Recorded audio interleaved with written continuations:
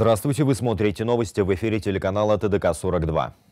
В студии Сергей Уланов и в начале выпуска коротко о главном. Президент Казахстана Тукаев встретился с главой Азербайджана Алиевым в Аккорде. Лидеры государства обсудили вопросы развития казахстанско-азербайджанского стратегического партнерства. В Актубе шумят дольщики. Люди вложили свои сбережения в новые квартиры, однако обещанное жилье ждут уже третий год. На проблемный перекресток пожаловались жители Уральска. На пересечении улиц Урманши и Иманова аварии происходят с пугающей регулярностью, говорят горожане, и просят принять меры.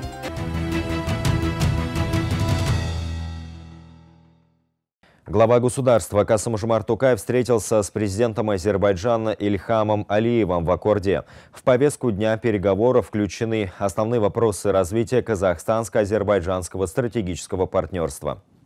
Главные пункты в списке экспортируемых из Казахстана в Азербайджан товаров – это пшеница, нефть и нефтепродукты. Кроме того, наша страна поставляет железнодорожные электрические локомотивы, рельсы, суда, паромы и плавучие средства спецназначения. Пшеница в экспорт-прайсе занимает важнейшее значение. Обороты с каждым годом наращиваются, во многом благодаря совместному проекту «Бакинский зерновой терминал». На этот раз Токаев и Алиев обсудили поставку казахстанской нефти в Европу. Большое значение имеет полноценное раскрытие потенциала потенциала транскаспийского международного транспортного маршрута.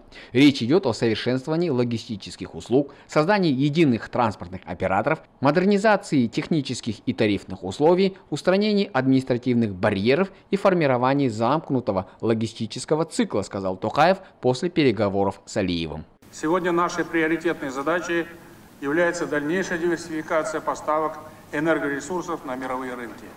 Как вы знаете, благодаря нашим договоренностям в этом году через Азербайджан состоялась отправка первой партии казахстанской нефти.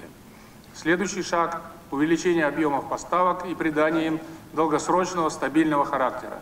В свою очередь, Азербайджан импортирует казахстанцам сахар, полимеры, пропилен, минеральные и газированные воды, трубы и профили, а также железнодорожные и плавательные транспортные средства. В Казахстане действуют 900 совместных предприятий, осуществляющих свою деятельность по торгово-посреднической линии в дорожном и капитальном строительстве, переработке и опять же логистике. По началу транзита казахстанской нефти через Азербайджан, э, началу серьезной работы по объединению транспортно-логистических инфраструктур наших стран для того, чтобы в полной мере задействовать возможности Срединного коридора. И мы сегодня обсуждали конкретные цифры, конкретный график увеличения э, транспортировки грузов по маршруту Восток-Запад и э, дали поручение соответствующим э, руководителям соответствующих структур для того, чтобы в ближайшее время эти все вопросы были проработаны. По данным аналитиков, Казахстан выражает заинтересованность в диверсификации поставок нефти на мировые рынки, потому что более 80% черного золота уходит на экспорт по Каспийскому трубопроводу, но работа трубопровода приостанавливалась несколько раз. Тревожная ситуация вокруг Каспийского трубопроводного консорциума все сильнее озадачивает казахстанских чиновников и госменеджеров. Дело в том, что регулярные и надуманные причины остановки работы объекта вынудили искать пути обхода России. Очередная проблема с транспортировкой сырья сырья через нефтепровод заставила Казахстан задуматься над маршрутом из Ахтау в Баку, по которому могут пойти новые объемы углеводородного сырья. Однако и здесь есть свои нюансы, отмечают аналитики. Казахстанская сторона хочет продавать свою порцию в конечной точке трубопровода в Джейхане, а азербайджанская сторона хочет закупать объемы казахстанской сырой нефти в Ахтау и далее уже самой распоряжаться и продавать ее. Бауржан Шейхмет Ахмедяр Ильясов, столичное бюро ТДК-42. Нацбанк сохранил базовую ставку на уровне 16,75%. Дальнейшие решения будут зависеть от обновленного прогноза в мае. Глобальная инфляция остается высокой, сообщил главный банкир республики. Все подробности в сюжете. О стабильном снижении инфляции еще рано говорить, сказал глава Нацбанка. При этом в марте она ожидаемо снизилась до 18,1%, а вот внешняя инфляция остается высокой. Мировые цены на продовольствие выше средних значений за последнюю пятилетку. В США и странах ЕС потребительская инфляция находится на высоких уровнях. Европейский центральный банк, в свою очередь, ожидает инфляцию на повышенных значениях более продолжительное время. В этой связи риторика Федеральной резервной системы и Европейского центрального банка остается достаточно жесткой, несмотря на проблемы в банковском секторе.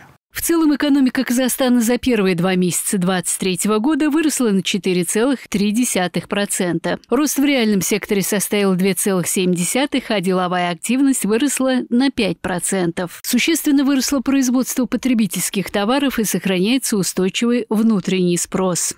Розничный товарооборот по итогам января-февраля вырос в реальном выражении на 12,9%.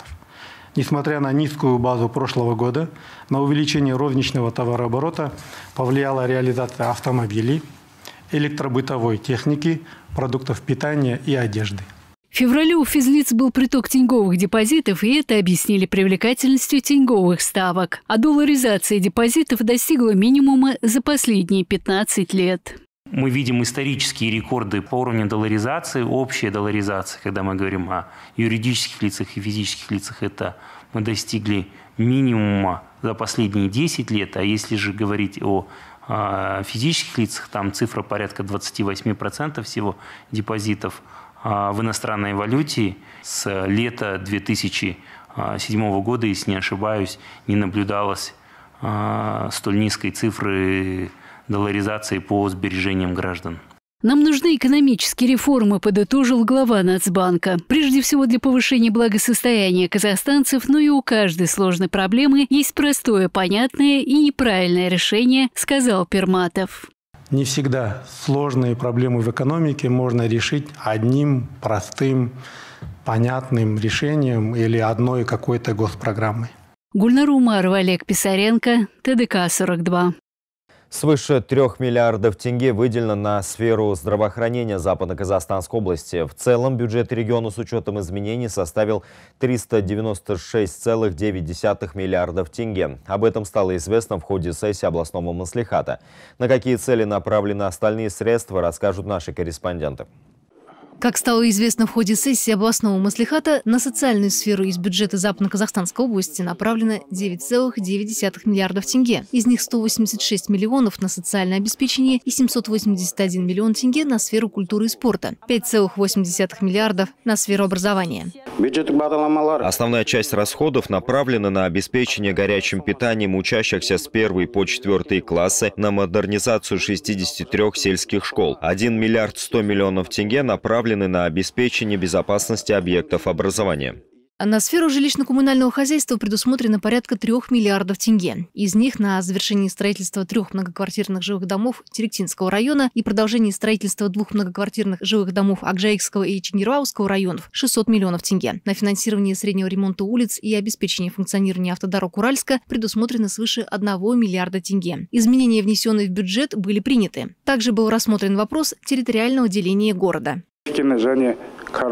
По итогам проведения общественного совета, согласно постановлению Акима Уральска, было решено упразднить поселки Кордон и Ливкино. Ранее они подчинялись администрации Уральска и до 2013 года входили в состав Деркульской поселковой администрации. Кроме того, в ходе сессии депутаты областного маслихата смогли высказать свои предложения. У нас в области насчитывается свыше 24 тысяч человек с ограниченными возможностями. В большинстве учреждений для них не созданы необходимые условия. В требовании по возведению зданий мы просим ввести обязательные пункты, учитывающие в дальнейшем потребности лиц с инвалидностью. Также от депутатов прозвучал ряд других запросов. Все они были приняты к сведению и должны быть рассмотрены в ближайшее время. Марина Горбук, Нуруан Кунашев, Асубек Абекенов, ТДК-42. В Актубе шумят дольщики. Люди вложили свои сбережения в новые квартиры, однако вечное жилье ждут уже третий год. Всего таких скандальных объектов в областном центре сегодня 11, и это больше 500 семей. Почему жилые комплексы превращаются в долгострой, выясняла Лейла Уесова. Скандалом обернулось в Актубе строительство жилого комплекса со звучным названием «Эксклюзив». 57 дольщиков третий год ждут новоселья. Застройщик привлек их заманчивой ценой.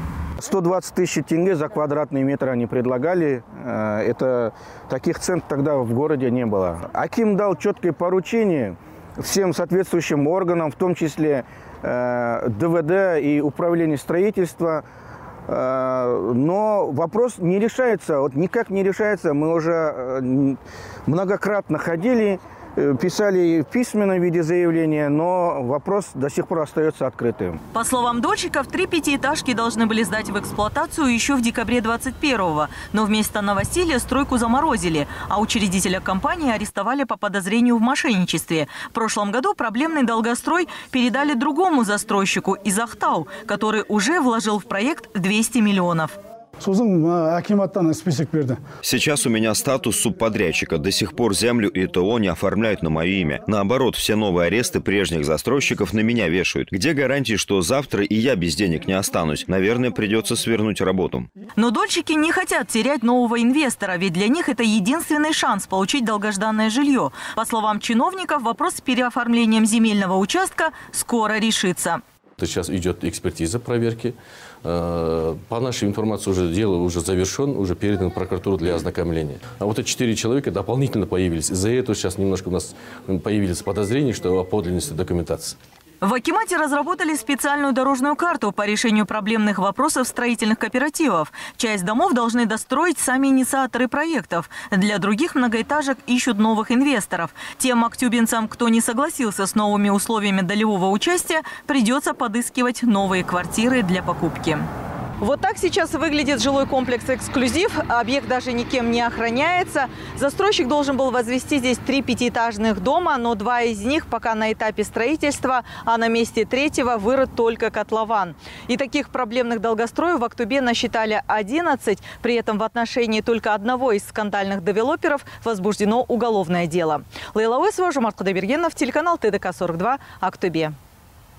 В Актау 85 работников медцентра в одночасье остались без работы. В филиале фонда обязательного медицинского страхования неожиданно для всех разорвали с клиникой контракт и обязали вернуть начисленный аванс в размере 38 миллионов тенге.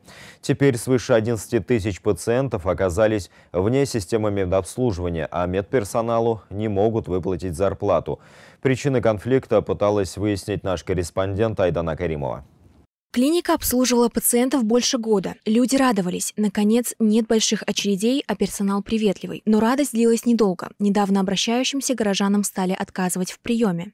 Я пришла с давлением, плохо себя чувствую. Мне говорят, что принять меня никто не может. Что происходит? Куда мне обращаться с таким состоянием здоровья? Непонятная ситуация коснулась и персонала. Работавшая с момента открытия медсестра Жена Тлеева неожиданно узнала, что осталась без работы. И это перед выходом в декретный отпуск. Руководство попросило освободить рабочее место по собственному желанию. И такая участь ждет абсолютно всех ее коллег. Я многодетная мама, воспитываю ребенка-инвалида. До декрета остается три месяца, а мне говорят, чтобы я начала искать другую работу. И даже посоветовали не сообщать новому руководству о своей беременности. Медсестрам даже не пообещали окончательного расчета. Заработную плату за последний месяц работы коллектив до сих пор не получил. По словам директора клиники, выплачивать не из чего. Центр строился специально для сотрудничества в сфере ОСМС, а проблема, которая возникла, связана с личной неприязнью вышестоящих чиновников. На компромиссы идти не хотят. 24 февраля пришло письмо, в котором указано, что с 1 января договор с нашей клиникой был расторгнут. Это ведь нарушение. Ведь мы добросовестно работали и обслуживали пациентов с Нового года. В филиале фонда обязательного медицинского страхования в комментариях отказали, как и в Магистауском управлении здравоохранения. Куда теперь обращаться 11 тысячам прикрепленным к медцентру жителям города, неизвестно. К слову, в прокуратуре сообщили, что по результатам проверки помещение клиники, которое находится в подвале, изначально не соответствовало санитарно-эпидемиологическим требованиям. Акты внесены в два уполномоченных органа. Это Департамент санэпидконтроля Мангистауской области, а также Фонд обязательного медицинского страхования. В Департамент СЭС в части привлечения ответственных лиц, допустивших нарушения, а в Фонд соцстрахования в части расторжения договора. Вопрос с прикрепленным населением решили просто. Их отправили в поликлинику номер два, которая и без того переполнена. Прокуратура поставила вопрос о привлечении виновных к дисциплинарной ответственности. В свою очередь, у увольных медицинских работников нет другого выбора, кроме как обратиться в трудовую инспекцию. Айдана Каримова, Мухалин Нуртаулетов, Аслбек Абикенов, телеканал ТДК-42, Актау.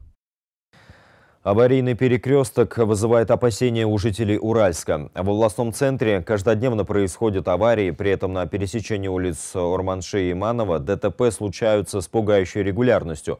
Жители, проживающие вблизи проблемного перекрестка, не на шутку обеспокоены. Мы находимся на известном аварийном перекрестке. Здесь пересекаются две улицы Орманше и Иманова. За последние два года здесь произошло порядка 30 различных дорожно-транспортных происшествий. Автомобили сносят заборы, сносят столбы.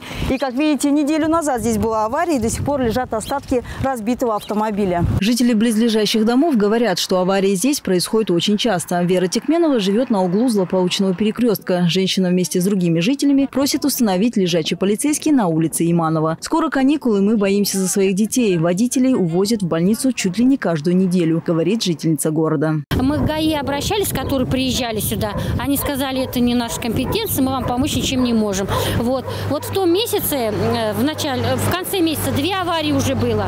Вот. Потом, что хотелось еще сказать, мы хотим, чтобы здесь положили на Иманова лежачие полицейские, так как это не центральная улица, чтобы они останавливались. Аварии бывают и с утра, и ночью, и днем. Результат налицо. Постоянные аварии на этом перекрестке стали уже чем-то вроде обыденности. После того, как наша съемочная группа уехала, в этот же день произошло очередное ДТП, в результате которого пострадали не только транспортные средства, но и частный дом. 7 апреля произошло столкновение двух автомобилей – Toyota Camry и Datsun, в результате которого китайский автомобиль врезался в рядом стоящий дом. Ущерб и причиненный вред здоровью устанавливается. В результате ДТП автомашина марки Datsun слетела с проезжей проезжей части в рядом стоящий дом. А, после ДТП участники ДТП обратились за медпомощью.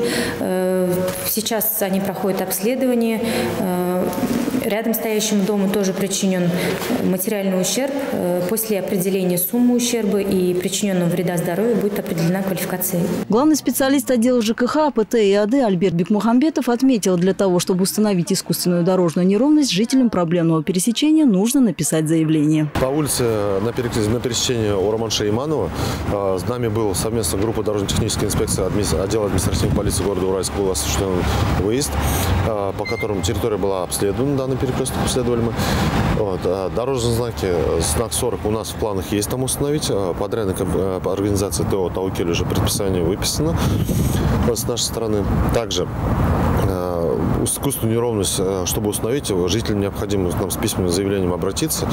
Вот, и тогда мы будем уже рассматривать установку, техническую возможность установки. Альбина Коленова, Олег Писаренко, Александр Грабарев, ТДК 42.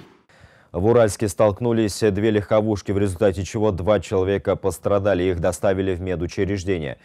ДТП произошло 9 апреля в 23 часа 25 минут около рынка Мирей на пересечении проспекта Абулхайрхана и улицы Правдухина. В пресс-службе департамента полиции сообщили, что автомобиль марки Toyota Camry ехал по главной дороге. В это время водитель за рулем «Лады» делал разворот, после чего произошло столкновение. В результате ДТП пострадавшие с различными травмами были доставлены в больницу. В результате ДТП были доставлены в больницу э, пассажиры и водитель автомашины Toyota Camry с, с различными травмами. И в настоящий момент устанавливается степень причиненного вреда здоровью, в, в, после чего будет определена квалификация деяния. В Казахстане пресечены факты незаконного вывоза ГСМ. Всего с конца января 2023 года пресечено 288 фактов. Об этом сообщили в Комитете государственных доходов Министерства финансов Республики. С момента введения запрета на вывоз с территории Республики Казахстан автомобильным транспортом бензина, дизельного топлива и отдельных видов нефтепродуктов органами государственных доходов на внешней границе в третьей страны были выявлены 94 факта незаконного вывоза нефтепродуктов, по которым э, судом наложен штраф на сумму более полтора миллиона тенге и конфисковано 2341 литр бензина и 25 335 литров дистоплива. На границе со странами ЕС также выявлено 194 факта незаконного вывоза дистоплива и ГСМ. Органами государственных доходов в настоящее время проведена работа по запрету оформления электронных таможенных деклараций на вывоз ГСМ в автоматизированной системе «Астана-1». Житель Западно-Казахстанской области подозревается в покушении на убийство. 8 апреля текущего года около двух часов ночи 33-летний житель района Байтерек, находясь в одном из кафе поселка Переметное, напал на свою бывшую супругу и нанес ей ножевые ранения. В результате этого женщину госпитализировали в Центральную районную больницу. Тем временем мужчина скрылся с места преступления. В течение суток преступник был задержан сотрудниками правоохранительных органов. Преступника удалось задержать менее чем за сутки. В настоящий момент он выдворен в изолятор временного содержания и дал признательные показания. По данному факту ведется досудебное расследование по статье «Покушение на убийство». Пугающая статистика. По сравнению с мартом 2022 года более чем на 70% подорожали сахар, рафинат, мыло, хозяйственное, канцелярские товары. Более чем на 50% выросла цена на мыло детское, лук репчатый, средства для мытья посуды и курагу. Такие данные представлены в Бюро нацстатистики. Тем временем власти на местах разными методами пытаются сдержать рост цен на социально значимые продукты питания. С подробностями наш корреспондент. В марте 2023 года цены на продовольственные товары повысились более чем на 1%. Непродовольственные товары. Платные услуги по 0,8 каждый. Среди регионов самая высокая месячная инфляция зарегистрирована в Алматинской области – 1,5%. Самая низкая – 0,4% в городе Астане. Социально значимых продовольственным товарам власти относят 19 продуктов питания и жестко контролируют цены на них. Торговая наценка на такие продукты не должна превышать 15% от отпускной цены производителя или или закупочной цены оптового поставщика. Одним из основных инструментов сдерживания цен является СПК. Совместно с инвесторами для борьбы с ценами в Западно-Казахстанской области открываются социальные торговые точки. Одна из них расположилась на рынке Елерса. Социальный супермаркет э, на территории рынка Елерса, оптово-розничного рынка Елерса, он открыт э, нашим партнерам по доверительному управлению этим рынком. Э, Данный партнер он выступил в качестве инвестора по развитию этого коммунального рынка. Целью этого проекта являлась вот, э, э, организация розничной торговли, крупной розничной торговли. И основное направление – это реализация социально значимых продовольственных товаров по сниженным ценам. Социальные магазины открываются с 2020 года. Здесь продаются товары массового потребления – сахар, мука, яйца, растительное масло, овощи и крупы. Отметим, что товаропроизводителям аренда отдается по льготной ставке. В свою очередь, товар не должен продаваться дороже, чем в обычных магазинах. Инвестор сосредоточился на реализации социальных проектов, чтобы сохранить доступ к продуктам питания для жителей города. В социальном супермаркете вы сможете приобрести все необходимое по доступным ценам. Отметим, подобные социальные магазины открываются по всей республике. В таких торговых точках есть все необходимое, где покупатель может приобрести в одном месте и по доступным ценам. Альбина Коленова, Олег Писаренко, Александр Грабарев, ТДК 42. В Уральске ведется мониторинг по благоустройству территории города. Мониторинговые группы созданы для выявления проблемных вопросов, в том числе по соблюдению чистоты во время строительных работ. Так, всего за 4 месяца текущего года оштрафовано 39 объектов бизнеса на общую сумму полтора миллиона тенге. Подробности в сюжете. Строительные отходы не только портят общий вид города, но и приносят немало проблем для самих горожан. С целью улучшения внешнего вида города и соблюдения порядка мониторинговая группа во главе с заместителем Макима города Жандосом Дюсингалиевым провела рейд. Чиновники лично посетили несколько объектов, которые не соблюдают правила благоустройства. Одним из таких нарушителей оказался объект на проспекте Абая вблизи центральной мечети города.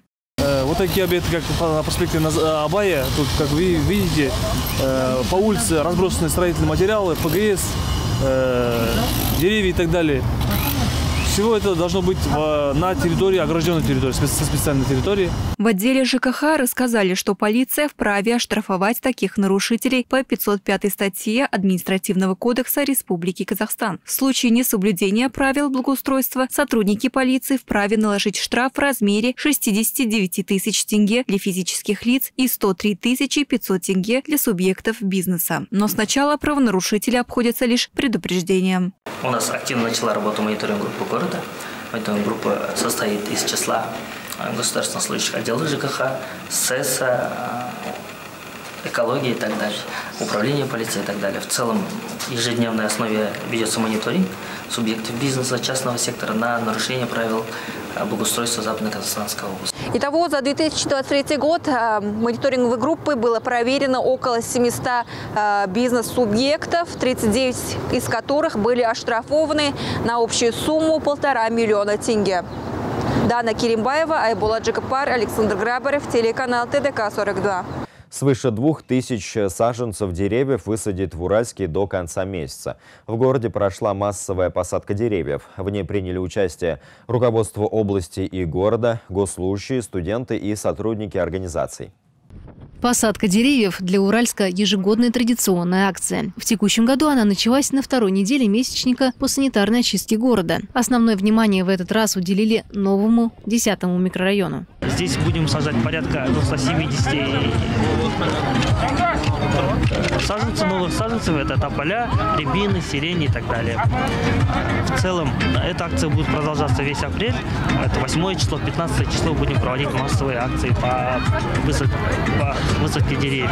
Также планируется посадка хвойных деревьев. Все саженцы местные. Несмотря на холодную и ветреную погоду, участие в посадке деревьев приняли и госслужащие, и представители организаций и предприятий, и студенты. Приятно осознавать то, что молодое поколение, как и мы, принимает активное участие в таких мероприятиях. То есть это не только э, делает внешний вид э, нашего города Уральск красивым, но и помогает то есть, очищению воздуха, охота, чтобы э, такие мероприятия было больше. Акция по санитарной очистке и озеленению города продлится до конца месяца. На следующей неделе высадят деревья в центральной части Уральска. Акимат города и области призывает всех горожан принять активное участие в этих мероприятиях. Кстати, Уральск считается одним из самых зеленых городов Казахстана. А в 2011 году наш город был признан самым благоустроенным городом в СНГ. Марина Горбук, Нурлан Кунашев, Асубек Абекенов, ТДК-42.